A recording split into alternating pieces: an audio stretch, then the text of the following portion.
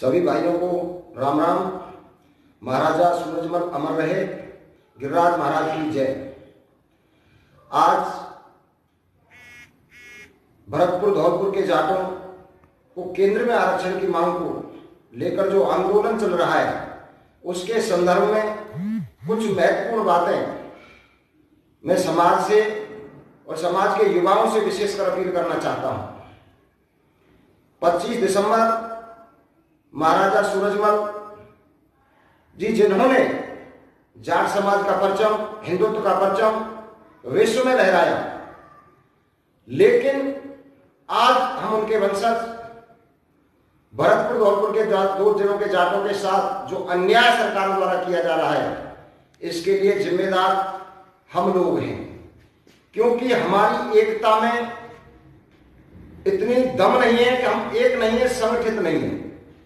आंदोलन के बारे में सबसे पहले मैं एक बात कहना चाहूँगा। 25 दिसंबर को महाराजा सूरजमल जी का बलिदान दिवस है।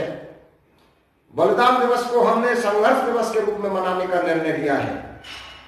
मैं सभी भाइयों से एक बात कहना चाहूँगा 25 दिसंबर को सुबह प्रातः नहा धोकर सबसे पहले अपने अपने घर में महाराजा सूरजमल जी के छाया चित्र पर पुष्पांजलि अर्पित करें, दीप प्रज्वलित करें और अपने घर से, हर घर से एक आदमी खेड़ी मोड़ पर, भरतपुर, धौलपुर के जाटों के जो तीन सूत्री मांग है, सबसे पहली मांग है, राज्य सरकार केंद्र में आरक्षण के लिए चिट्ठी लिखे।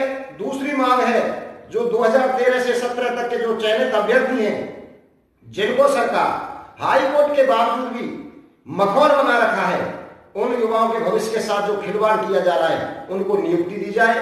तीसरी मांग है 2015 और 16 17 तीनों में जो मुकदमे लगे आंदोलनकारियों पर, वो मुकदमे वापस लिए जाए। सरकार चाहे तो तीन मिनट में तीन मांग पूरी हो सकती हैं। हमने हर मीटिंग में कहा है, हर जगह कहा है, मीडिया में हमने कहा है कि आंदोलन करना हमारा कोई शौक नहीं है। आंदोलन हमारी मजबूरी है। आंदोलन में जो भी नफा नुकसान होंगे उसके लिए राज्य सरकार अपनी हट धर्मता से जिम्मेदार होगी हमने सरकार से बार बार अपील की है, सरकार को बार बार मौका दिया है। सरकार समाज के जो धैर्य की परीक्षा ले रही है, इसके लिए समाज को परीक्षा देने के लिए तैयार हो जाना चाहिए। रामायण में भी एक चौपाई लिखी है, यद्यप दुख दारण विघ्नाना सबसे अधिक जाति अपमाना जहाँ बिरादरी का अपमान किया जा रहा है, सरकार अगर ये मानती है कि आंदोलन ही समस्या का एक समाधान है। तो 25 दिसंबर से हमें समाज की ताकत को दिखाने की ज़रूरत है।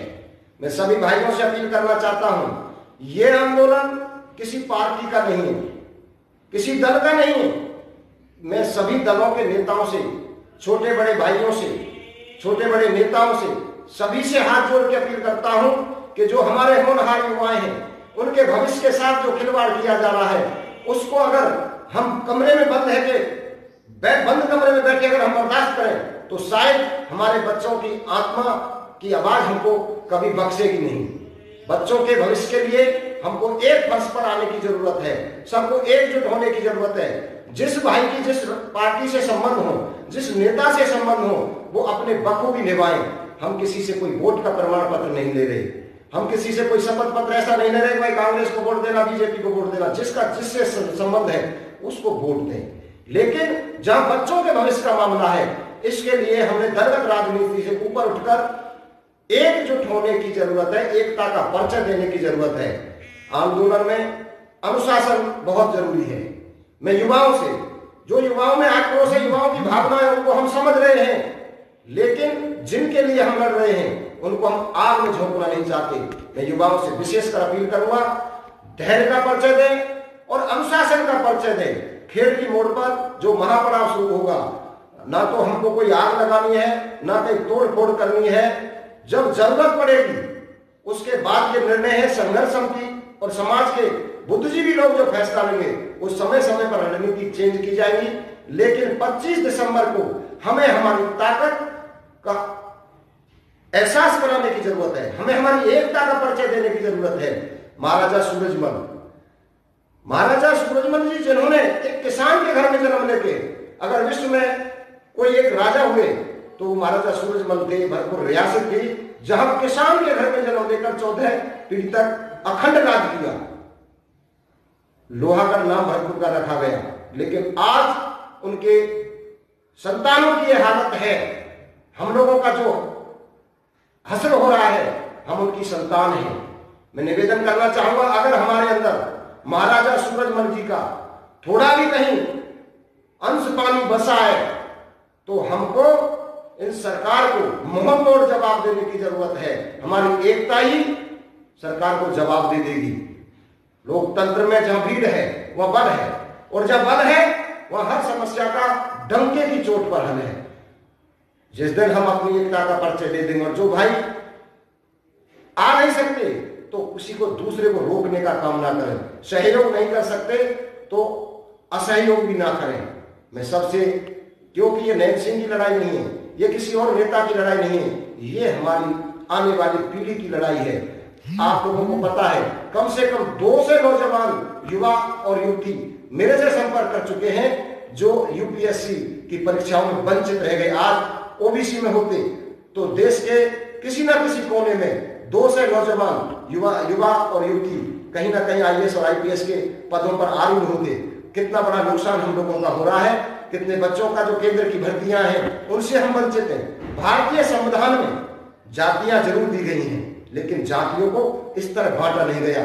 इकतीस ज़िले के हमारे जात भाई केंद्र में आरक्षण में है, राज्य में आरक्षण में पहले से थे, केंद्र में एक साथ दोनों को मिला।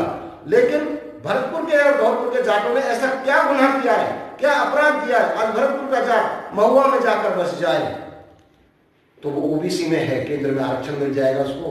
अगर वो कमालपुरा में रहता है तो उसको आरक्षण नहीं। ऐसा अन्याय क्यों? मैं सरकार से पुनः अपील करना चाहता हूँ कि हमारे धैर्य की परीक्षा ज़्यादा लेना ठीक नहीं है। युवाओं में जो आक्रोश है, इस आंदोलन में जो भी होगा, उसके लिए सरकार जिम्मेदार होगी। हमको सरकार ने अभी माननीय जिला कलेक्टर जी के ज़रिए जयपुर वार्ता के लिए भी बुलाया था। मैडम आरती डोगरा जी से हमारी बात हुई तीनों बिंदुओं पर।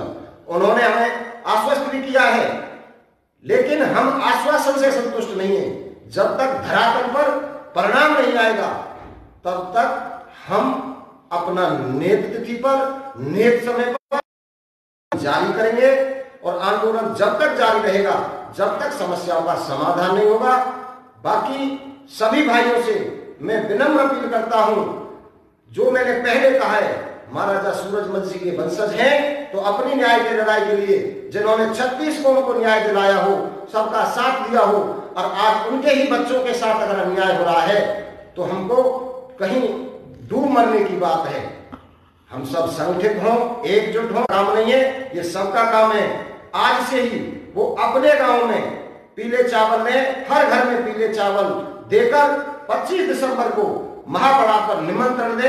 ये सबकी ज़िम्मेदारी है, किसी एक व्यक्ति का काम नहीं है। इन्हीं शब्दों के साथ मैं सभी भाइयों से कोई गलती में कोई शब्द ऐसा निकला हो तो उसके लिए क्षमा चाहता हूँ। राम राम साहब।